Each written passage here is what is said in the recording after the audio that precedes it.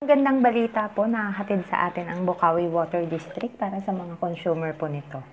So sa ngayon po, ah, nag-anunsyo sila ngayong araw sa kanilang Facebook page na pwede na po tayong magbayad sa pinakamalapit na bayad center outlet sa atin para sa ating water bills.